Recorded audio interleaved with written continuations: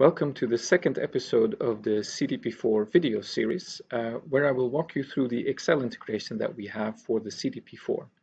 Uh, this Excel integration is what we call the CDP4 Excel add-in, and it gives you the uh, ability to uh, interact with the CDP4 through Excel, so you can get data into Excel and back from Excel into the CDP4 server, um, to do fancy analysis like creating mass budgets and power budgets on the basis of CDP4 data that you and your team have created.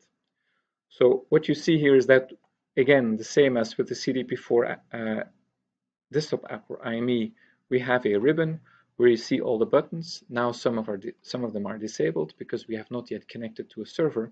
So let's make that the first thing we do. So in order to connect a server, we click on the open button put the name of the server with the same username and password.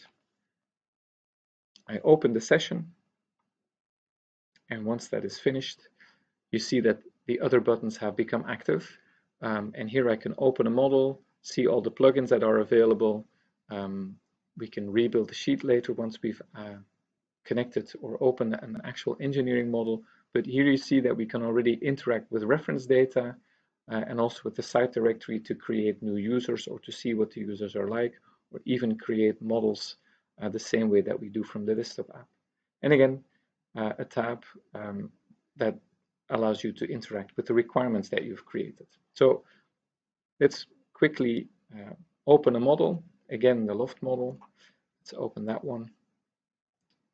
And then you see that the iteration uh, group becomes active. So here we can open up the definitions browser, which gives us the uh, all the building blocks that we can use in our model. So it's the same as with the desktop app um, and also the product tree that gives us the architecture of our um, of our complex uh, design. In this case, the Loft mission, which is a satellite. Um, and one of the things that makes um, this uh, Excel integration so unique is that we can rebuild um, the data and get it into Excel. So what you see here is that I'm going to generate some sheets in Excel.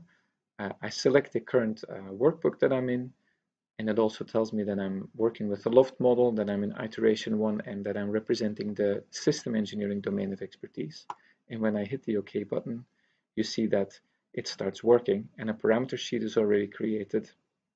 And later on, also an option sheet will be created. Those things we will explain to you later, this is just to show you uh, basically the beginnings of what the application can do. So here you see all the parameters that coincide with what you see on the element definition browser. And here you see option one or the default option, uh, which reflects what you see on the product tree. So now we can interact with this data uh, and make fancy things with that, but that's for a later video. Thank you for watching. Bye-bye.